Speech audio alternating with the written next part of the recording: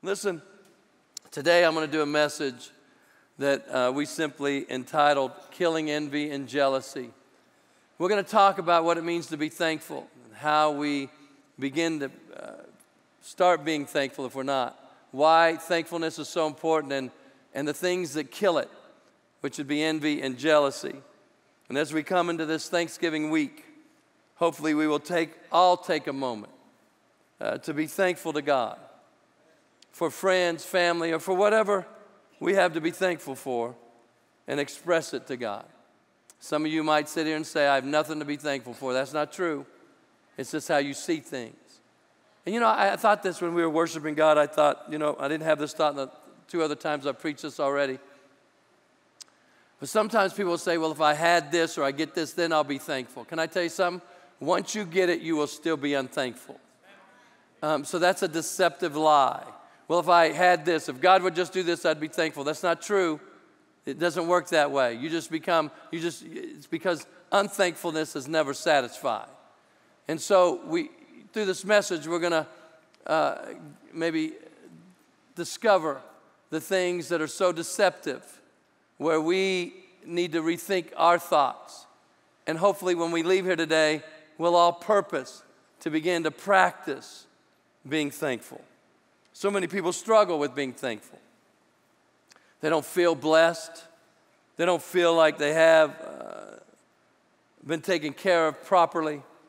They don't feel like they've had the same opportunities as others around them. But, folks, it is impossible to be thankful when you're full of jealousy and envy or you're envious. And so, we're going to kind of use those terms in the same way, even though I, I believe they're a little different when you go through the scriptures a lot of times, they're, they're used uh, synonymously with each other. And so today we're going to deal with envy and jealousy. Envy to me is when you want someone to lose something so you can have it. In other words, you want something someone has, but you want them to lose it to gain it. Jealousy is you want what someone else has, and then you're afraid that someone will take something that you have. So that's why couples or people that are jealous people, they're always comparing themselves with, do you think, you think they're prettier than me? Do you think they're better looking than me? Do you think they're, you know, more handsome than me? They, they, they deal with all these things. But envy and jealousy are horrible, horrific uh, characteristics, if you would, things to have in you. They, they, they create every kind of evil thing that can happen derives from those two characteristics. And they're not from God. God doesn't want us to ever be envious of anybody else or jealous. Envy is something that even the Ten Commandments speaks of because it is covetousness. And the Bible says it's an order, it's a command Thou shalt not covet. So, folks, that's why we got to be careful in our world. Listen to the media, listen to all the things that sound so good that aren't good at all. When you talk about socialism, socialism is, first of all, it's failed in every country it's been tried. It's, it's, it's, it's ungodliness, it's, it's wrong, it's covetousness. And, and the other thing it does, it begins to re- remove or eradicate Christianity. Because if you believe in socialism, you understand there's a dictator that dictates to make sure everybody falls in line. And so freedom of religion is thrown out the door. And then when they talk about the redistribution of wealth, it's like, well, they have so much, why shouldn't they share it? And my question is, why should they share it? It's theirs. And when you buy into socialism, it takes the incentive away from human beings to achieve and grow because I'm going to work my tail off to give something to somebody that's not going to work at all. I mean, I'm just trying to explain from a biblical standpoint. God is not a socialist, He's a theocracy. And, and, he, and, he, and, and you can't find where that's taught. I give of my good desire when I want to give. But to be forced to take what I've worked hard for and give it to somebody else is not a godly principle. Well, Pastor, they have too much. That's not for you to say. And the only reason we say that is because of envy and jealousy. Because somehow I deserve more than I have. And I'm thinking if you want more than you have, then work harder. Go get trained, go to school, go do something, or, or learn a craft, or, or whatever it is. But uh, God wants us all to achieve. But envy and jealousy will cause us to think wrong. and buy into things that sound so good, but they're so horrific. And so when we talk about envy and jealousy, we're also talking about covetousness. Both envy and jealousy make you feel inadequate. And again, we tend to use jealousy and envy as the same. 1 Corinthians chapter 3, verse 3. I'm going to read some of these scriptures today, not all of them, from the Passion translation. Maybe, you, maybe a lot of you haven't heard from it about it, but I received one and I, I, I like it. So I want to read 1 Corinthians 3 3 from that translation. For you are living your lives dominated by the mindset of the flesh. Ask yourselves, is there jealousy among you? Do you compare yourselves with others? Again, it's what I was talking about earlier. Do you quarrel like children and end up taking sides? Isn't it funny how people take sides? They take sides without hearing both sides. Well, they're my friend. Who cares? You, you know, we got to learn either we please God or please men. And someone can be my great friend and tell me a story, but I've got to take it the same way I take any story. Well, let me go hear the other side before I take sides. Yeah, I knew that would go over well, but anyway. and end up taking sides. If so, this proves that you are living your lives centered on yourselves, dominated by the mindset of the flesh. And I like this, and behaving like unbelievers. We shouldn't be jealous. We shouldn't be comparing ourselves with others. We shouldn't be quarreling, quarreling like little children. You know, in the church world today, it's so funny when you look at it, people that get turned off at church, it's because when you come to church, they fight over dumb stuff like the painting on the walls or the color of the carpet. Who cares who's going to heaven or hell? Let's just fight over that. I put my foot down, I don't like the carpet. Use, unless you're paying for it all. I just, but, but that's, most of the arguments in church aren't over the serious matters. And so Paul is admonishing us. He's saying, Are you like this? Paul called them infants, babies in their Christian life because they quarreled like children. They compare themselves, they're easily distracted, and they were jealous of each other. See, our goal should be to allow God's desires to become our desires. That should be our goal. And jealousy and envy is a sign you lack self control. That's all it is. We, we lack self control. But here's the good news God wants to help us. Envy and jealousy are triggered when you believe you've come up short or you believe someone wants what you have. That's why couples, you know, I hear them, I used to talk to them all the time, I still do. And and you'll, one, one of the, in the, the relationship will be jealous. And the husband or wife will say, I can't do anything. If I look left and there happens to be a young lady, or I look left and there happens to be a young man or a man, the other one would say, Do you think she's prettier than me? You think she's better looking? You think he's more handsome? Do you want him? Do you desire? And it's like all I did was look over there. I didn't even know they were over there. So they, almost have to walk with blinders like the horses so they can't look anywhere. And so people get under bondage and they feel trapped. And then when people get out of that trap or out of that cage, they never want to go back. Then you'll hear, Well, I'll change now. Why didn't you change before? Why didn't you get under more self control before? Why are you so insecure that you think every guy your wife wants more than you? What are you doing wrong? Or, wife, why is it you think your husband wants every other woman but you? What are you doing that makes him think that? You know, it's funny the God, how God talks, and I wasn't going to do this, so this is free. I've not said it any other time. Isn't it funny when you look at the Bible? Not funny, but ironic. You look at the Bible, the Bible tells the men to love the wives and the wives to respect the husbands. You know why? Because men want respect and women want to be loved.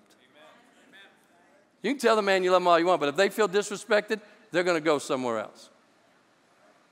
Well, they disrespect me, I know, because we, we all have to fight each other instead of one stepping up, doing the right thing, and hopefully believing the other one will see it. That, that was free. 1 Samuel 18, I'm not doing marriage counseling, but someone probably need to hear that. 1 Samuel 18, verses 5 through 9. Listen to this. Whatever Saul asked David to do, David did it successfully. So Saul made him a commander over the men of war, an appointment that was welcomed by the people and Saul's officers alike. Now, David was one of the baddest dudes in the Bible. He was one of the toughest. He had his mighty men of valor. I believe he was the toughest of all of them. He was a bad dude. He could, he could cut you, kill you. I mean, he, he could fight. But yet, let me tell you about David, why God loved David. He was never too prideful, as tough as he was, to humble himself before an almighty God and worship him. I mean, he, he danced so much, he danced his clothes off. That's the real dance off right there, man. Just.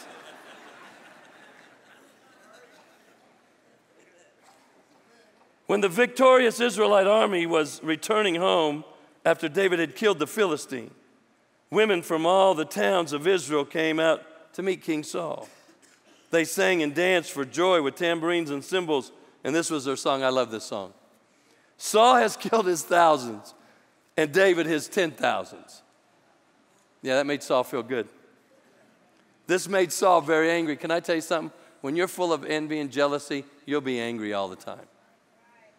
What's this? He said.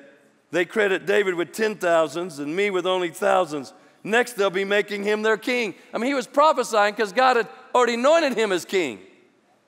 So from that time on, listen to this. From that time on, Saul kept a jealous eye on David.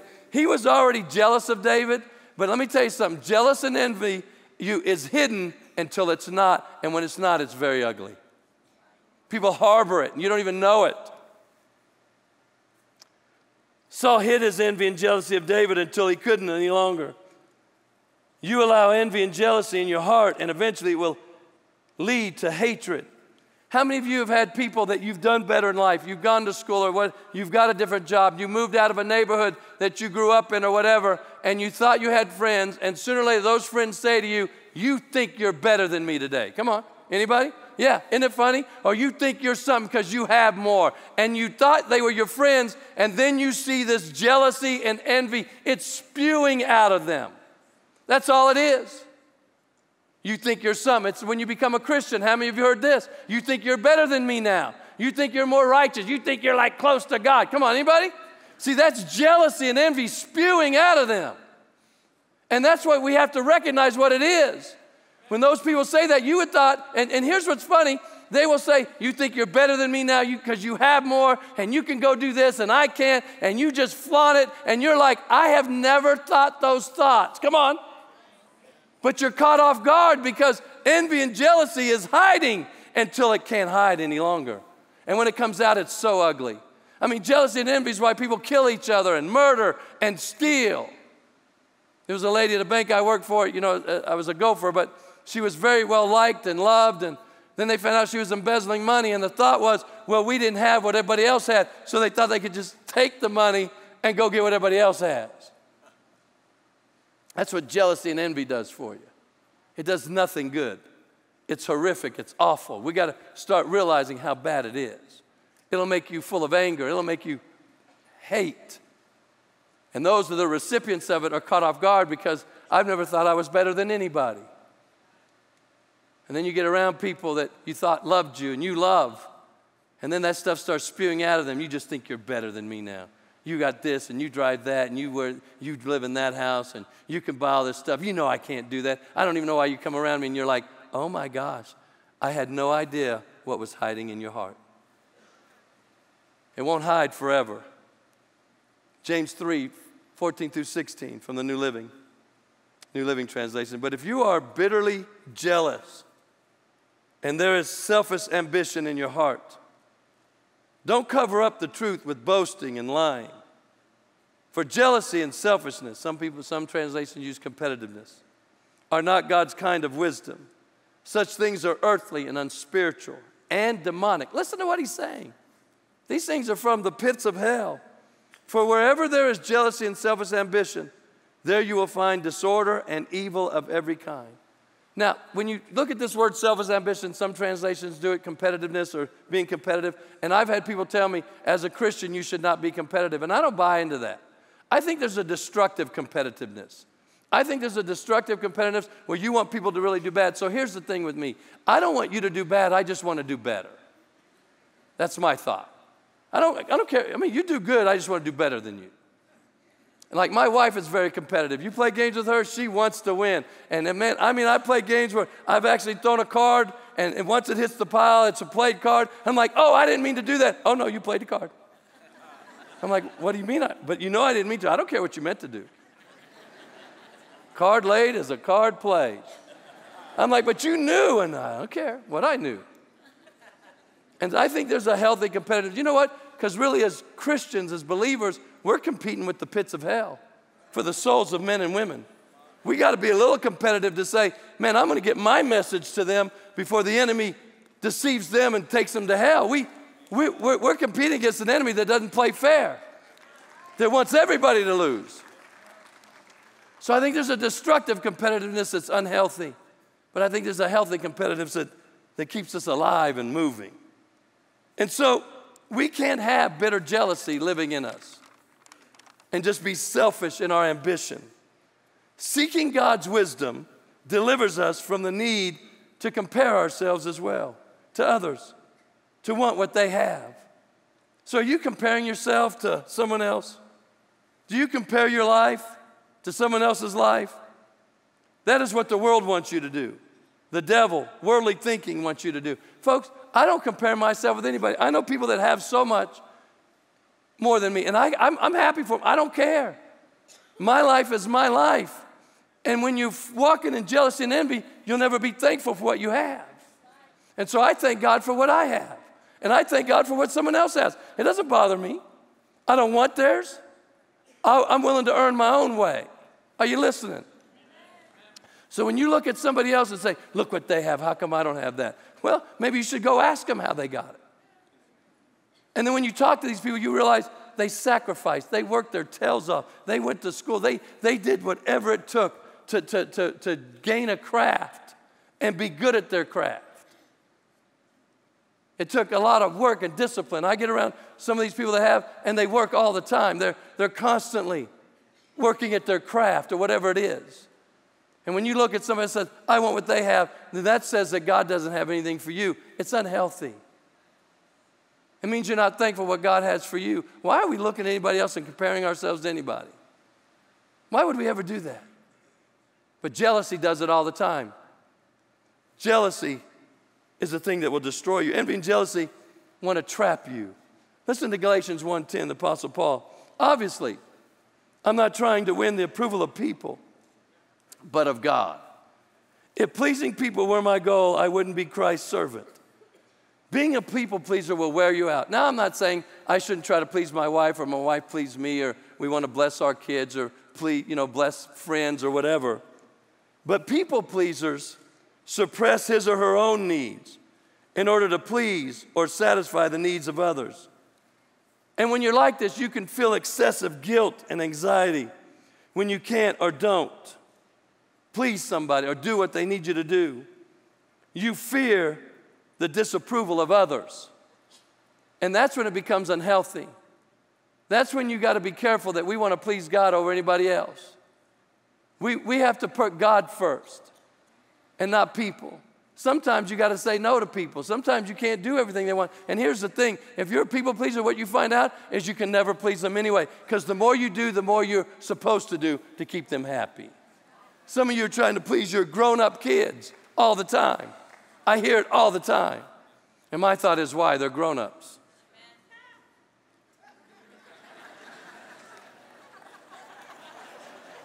They're supposed to be grown ups. But why do we try to please them all the time? Well, I just want them to like me. Are you kidding? Because the more you do what you find out is the more you have to do. It's never enough. Because you know what? Jealousy and envy is never satisfied. It's never satisfied. So whose approval are you seeking? Others or God's? Proverbs 23, 17, 18 reads this way Don't envy sinners. Listen to me. We're talking about comparing ourselves and jealousy and envy. Don't envy sinners. It's not a suggestion but always continue to fear the Lord. That's a reverential fear, respect and honor. You'll be rewarded for this. your hope will not be disappointed. So we're not to envy sinners. Listen to this Proverbs or Psalms 37, 1 through 5. This is from the Passion Translation also. Don't follow after the wicked ones or be jealous of their wealth. Don't think for a moment they're better off than you. They and their short lived success will soon shrivel up and quickly fade away like grass clippings in the hot sun. Keep trusting in the Lord and do what is right in His eyes. Fix your heart on the promises of God, and you will be secure, feasting on His faithfulness. Make God the utmost delight and pleasure of your life, and He will provide for you what you desire the most. Give God the right to direct your life. As you trust Him along the way, you'll find He pulled it off perfectly. In other words, I hear people say, Pastor, I'm doing everything God wants me to do, and these people aren't even godly, and look what they have. And God is saying, How dare you compare yourself to the wicked? These people don't serve God, they don't love God, they hate God, they mock God, and look what they have. He says, Are you serious? You're gonna compare yourself to the wicked? Stop doing it. Who cares what they have? Well, Pastor, don't you think people can have too much? Absolutely not. That is not my call. That is not my concern. I don't even think about it. In fact, I grieve over America. I grieve over the church because we buy into the worst kinds of envy and jealousy. Well, don't you think they should share it with me? Absolutely not. Not unless it's their desire. But to be forced to share what they've worked for, whether they got it good or bad, that's not my call. That's not your call. What I care about is, God, I just want to please you. I'm going to delight myself in you. I'm going to learn to be thankful for what I have. And then I can quit worrying about what other people have. Envy and jealousy are the antithesis of thankfulness. When you are full of envy and jealousy, you are never satisfied with what you have. Nothing will ever be enough. How thankful we are reveals the health of our souls. Listen to Ephesians 5 18 through 20. Don't be drunk with wine because that will ruin your life. Instead, be filled with the Holy Spirit. Now, there's people that think, well, if you're filled with the Holy Spirit, you're going to act like a drunk person. That's not what he's saying. Singing psalms and hymns and spiritual songs among yourselves and making music to the Lord in your hearts. And listen this, and give thanks. Everybody say, give thanks for everything to God, the Father, in the name of our Lord Jesus Christ. In other words, when you're filled with the Holy Spirit, you're going to give thanks to God for what? For everything in my life. Not for everything that happens, but for my life, that God, I thank you that even when it's bad, you'll help me when it's good. And we have to learn to find things to be thankful for. If you have nothing else in your life to be thankful for, here's what you can be thankful for. If you've asked Jesus to be Lord and Savior of your life, you can thank God for the forgiveness of sins and that when you die, you can spend eternity in heaven. But he said, Give thanks. Now, I don't give thanks to God that my hair is waved goodbye. A lot of it, I still, I'm thankful I have some. But I, am not real, real happy about it. So I don't say, Thank you, God. In fact, I tell God, God, you said the hairs on my head are numbered. So I think God looked at me and said, Boy, I'm tired of counting the hairs on your head. I'm going to thin it out so I can count them a lot easier. I don't know. But I'm not thankful for that, but I'm thankful I'm still healthy. I'm thankful my mind is working. I'm thankful I, I, can function and go and do what I want to do. Are you listening to me? You have to begin to practice to be thankful. Colossians chapter 3, verses 15 and 16. Verse 15, I'm going to read out of the Amplified Classic Version. And then verse 16, I'm going to read out of the New Living. I just like verse 15 out of the Amplified. And let the peace, soul harmony which comes from Christ, rule. Act as umpire continually in your hearts deciding and settling with finality all questions that arise in your minds in that peaceful state. In other words, it's the Word of God that is the, is the umpire of our life. To which, as members of Christ's one body, you are also called to live and be thankful, appreciative, giving praise to God always. What are we called to be? Thankful. Let, not, let the message about Christ and all its richness, richness Fill your lives. Teach and counsel each other with all the wisdom He gives. Sing psalms and hymns and spiritual songs to God with thankful hearts. If you really want to know how healthy you are, check your level of thankfulness and gratitude. The word gratitude means the quality of being thankful, readiness to show appreciation for and to return kindness. If you really want to know, if you really want to know how healthy you are, just ask yourself, how, how, how thankful am I? Folks, I, I thank God for everything. I leave my house, the other day I left it again. And as I pulled in front of my house, I stopped and I said, God, thank you for my home. Thank you for, your, for a wife that loves me all the time and likes me some of the time. Thank you for my children and my grandchildren. I may not have everything I've ever desired. You know, it'd be nice to have my own private jet. Go where you want, not get strip searched when you go to the TSA. I mean, I, I hate it. I, I think America is so reactionary, and that, that's another message. But, and I think, you know what? Wouldn't it be nice just to show up five minutes before you leave and jump on the plane and go?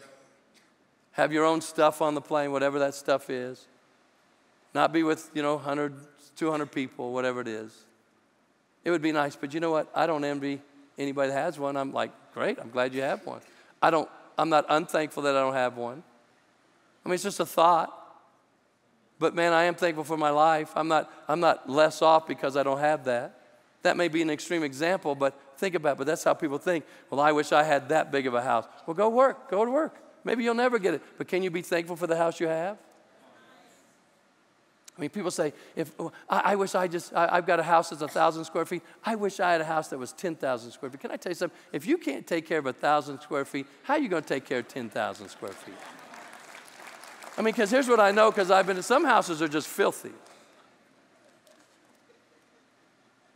They're just not, they're just, they're just dirty. And I think, but you want something more from God. You can't take care of a little thing. How, what, what would a 10,000 square foot house look like? I mean, we, we always think wrong instead of just being, God, I thank you that I have a place to live. And here's what we don't get in America we'll never get it. But if you have a place to live, if you have a car, if you have clean water, running water, you're some of the richest people in the world. Are you listening to me? But you won't ever see, we don't see it that way. That's why the Bible says it's hard for a rich person to go to heaven than a camel to walk through the eye of a needle. Because it seems like the more we get, the less we want to do with. But, but here's the thing if we can't be thankful for what I have, you know, my wife and I, we rented for a long time when we first got married. And I can tell you this without any reservation we always left those places better than when we got them. Well, why would you fix them up? Because God told me if I take care of someone else's, He'd give me mine. And I'm a witness. Aren't you supposed to be a witness? Aren't you supposed to be an example? So when they, they knew we were Christians, so they can leave, they said they left it clean. They left it, they left it in better shape. We painted it, we fixed it up. In one house, we planted a yard, we planted gardens where there was just nothing but dirt. I mean, we, we have to be responsible. Who are you trying to please? But when you're unthankful, you'll think, it's not mine. Why should I care? Because God tells you to care. And when you're thankful, you're just appreciative. I have a place to lay my head at night and feel so, somewhat safe or secure. See, we can be thankful if you want to be thankful. Listen to this as I close. Gratitude or thankfulness is what we experience when we perceive that what we have received is an undeserved gift of God's grace. The complete opposite of envy. It is a fruit of humility, it's inherently unselfish. We don't feel true gratitude towards ourselves, but only towards someone else who treats us better than we deserve. That's how Joseph felt being entrusted to Potiphar's chief steward. In other words, folks, I'm thankful to God because I didn't deserve anything from him. I didn't deserve forgiveness. I didn't deserve anything. He said, Steve, I'm just going to give it to you. You can't earn it, you can't deserve it. The more thankfulness is present in us, the less vulnerable we are to sin. I want everybody to hear that one more time. The more thankfulness is present in us, the less vulnerable we are to sin. That's why the Bible talks so much about thanksgiving. Thankful people have set their eyes on God, recognizing to some degree how much grace we are receiving right now, trusting Him to cover all our sin and work our painful past for good, and looking to Him for all we need tomorrow and into eternity. Souls that learn to be content in God, in whatever situation you might find yourself in, are souls that are the least vulnerable to temptation particularly covetous temptations. Therefore, cultivating thankfulness should be one of our core strategies in helping each other fight sin. We should encourage each other to be thankful. Colossians 3:15 that I read earlier. Not out of guilty obligation, but out of an unashamed desire to be happy. Thankful people are not only the most spiritually healthy and spiritually protected, but very often they're the most happiest. Cultivating thankfulness is not easy. We all need help. And thank God, help is available. But there is no thankfulness hack, no four easy steps to a grateful heart. It's as hard as habit building. We begin to train our heart, eyes, to look for God's grace in all circumstances. This looking must become habitual. And habits are built by doing them every day. We get incrementally better at them as the days gradually accumulate to months and the months to years. They become more and more a part of us over time. But it is worth the effort. Thankfulness is one of the most powerful affections God has given us the capacity to experience. It is far stronger than lust or any bondage of sinful pride. The more it grows in you, the more spiritual health you will experience, and the less power sin will wield over you. So, in other words, folks, we need to cultivate a thankful spirit. It'll cause you to be healthier, it'll cause you to be able to fight sin. It's when we get so discouraged that we're more likely to sin and fall into temptation. When we get mad or angry. But if you and I will practice thankfulness, make it a habit, fact, when you leave here today, you should say, Thank you, God, for giving me a life. Thank you, God, for what I have. What I have may not be much, but I thank you for what I do have. See, you begin to practice being thankful. Well, Pastor, I'm not very thankful. See, that's the spirit of envy and jealousy. And you'll be so unhappy. You'll be an unhappy camper. If you want to be happier in life, cultivate thankfulness. It's a powerful emotion. It's powerful. And over many years, I've practiced. I'm just thankful for what I have. I stand here all the time. My wife and I, even together, a lot of times, and we'll say how thankful we are for what God's done with us, how He's used us. I'm just thankful. I may not have everything I've ever desired, but you know what? If I don't, I'm still thankful. I'm grateful to God. Life hasn't always been easy, but I'm thankful God has never left me. He's always there for me. I'm thankful that when people that call themselves friends at times, they leave you, that God will never leave me. I'm thankful that in me is eternal life that I didn't earn or deserve, but God just loved me enough to send His Son to die for me. That if I receive Him into my life, I would have eternal life living in me. I'm thankful that God forgives me every time I blow it. I'm thankful that I have the ability to think and to make choices. I have the ability to listen to God or the devil. I have the ability to listen to the word or the world. I'm thankful God's given me a mind that can discern right and wrong and, and see through things. I'm thankful for a church that has some of the best people in the world to serve with. I'm thankful that the community I live in has the possibility of getting better and better. I'm thankful that God hears my prayers and answers them. You notice I haven't said a lot of things about things because most people it's about your things. I am not thankful for my cell phone. I remember when I didn't have a cell phone, I was free. Now I'm a cell phone addict.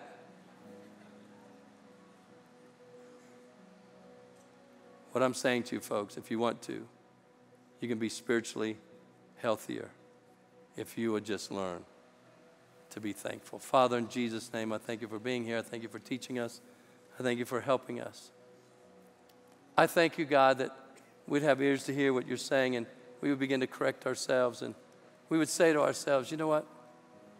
I'm going to start practicing being thankful. Holy Spirit, put a muzzle over our mouths and our thinking when we start thinking wrong and then we start speaking wrong. Please deal with us that we'd stop. And we'd say, Nope, I'm not going to talk about being unthankful. I'm just thankful, God. I may not have had all the time with people, but I'm thankful for the time I did have. God, we can be thankful not for all things, but in all things. Help us. Help us, God. It's such a powerful emotion. It can change all of our lives if we allow it to. Help us to be God pleasers and not people pleasers. Help us to do what's right in your sight, not in the sight of others. Jealousy and envy, we bind you, we rebuke you from our lives in this place today. You have to leave. And Father, for people that are hearing this message, wherever they're at, if they're Rio Rancho, I'm going to turn it over to Pastor Brian. If they're East Mountain, I'm going to turn it over to Tim. If it's at East Campus, I'm going to turn it over to Joe. But help us all to be thankful, to practice it, to grow in it. We'd all be happier people. And anger would leave, and hatred would leave, deception leaves, lies leave. Help us to be more under self control, to control our thinking and our mouth and our words. Help us, God. And we're thankful that you're always there to help us and to forgive us when we blow it and give us strength. With every head bowed, and you say, Pastor, would you pray with me?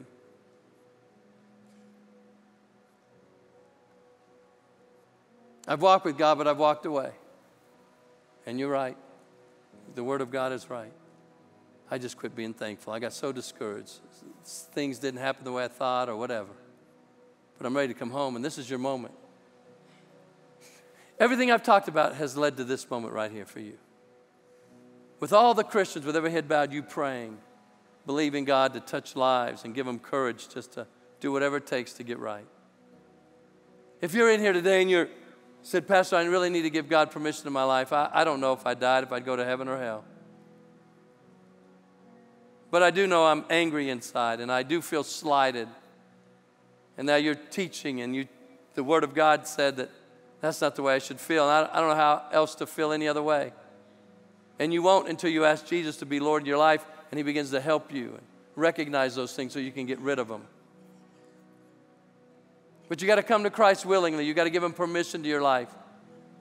And you have to say, God, I willingly accept you as Lord and Savior with the attitude or the purpose that you're going to get to know Him. You're going to learn His ways, not just to go back out and live the way you've lived but to say, I want to change my life.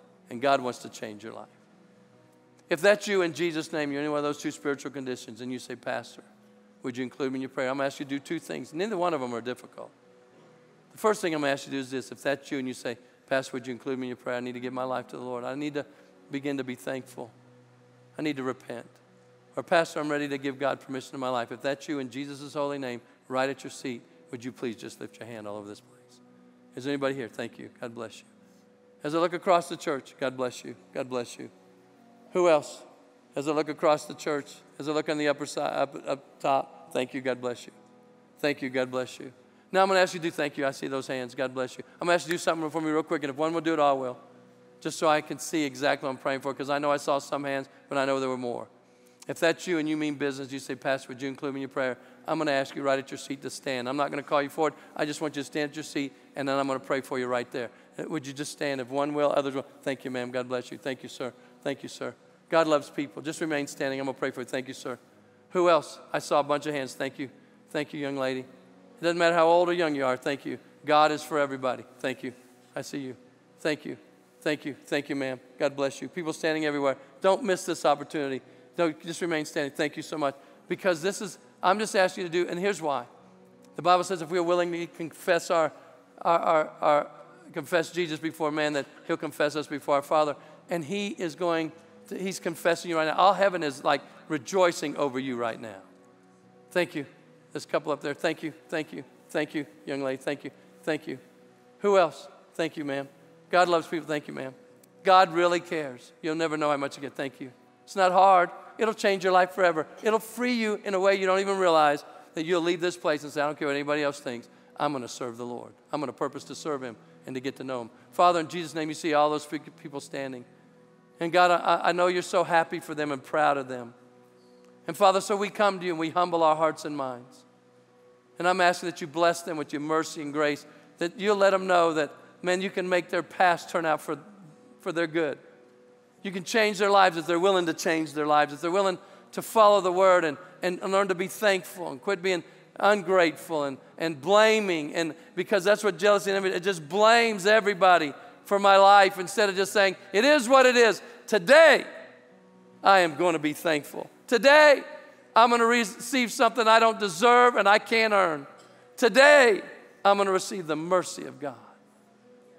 God bless each one. In Jesus' name. If you're standing, I want you to pray this prayer loud with me. I want everybody in this place that's been praying, I want you to stop now and pray with us in support of those standing. If you're standing, pray with all your heart. Would you pray, Father? I choose to believe in the Bible. And I believe your word declares if I believe in my heart the Lord Jesus, and if I confess with my mouth the Lordship of Jesus in my life, I will be saved. So right now, I believe in my heart. And now I willingly confess with my mouth Jesus, be Lord of my life. I give you permission to come live inside me. And now I thank you for forgiving me. I thank you for saving me. I didn't deserve it, I didn't earn it. This is a gift from you, and I receive it. Thank you, God. Thank you, God. I am thankful in Jesus' holy name. Amen and amen and amen. Let's thank the Lord, church, really good. The enemy comes knocking on your door. If you're simply part of the crowd, man, you're, you're in unsafe territory. But if you're part of the church, you can say, oh, no, no, no, no, I'm a part of this kingdom. I actively pursue you, and this thing that's attacking me will not prevail against me.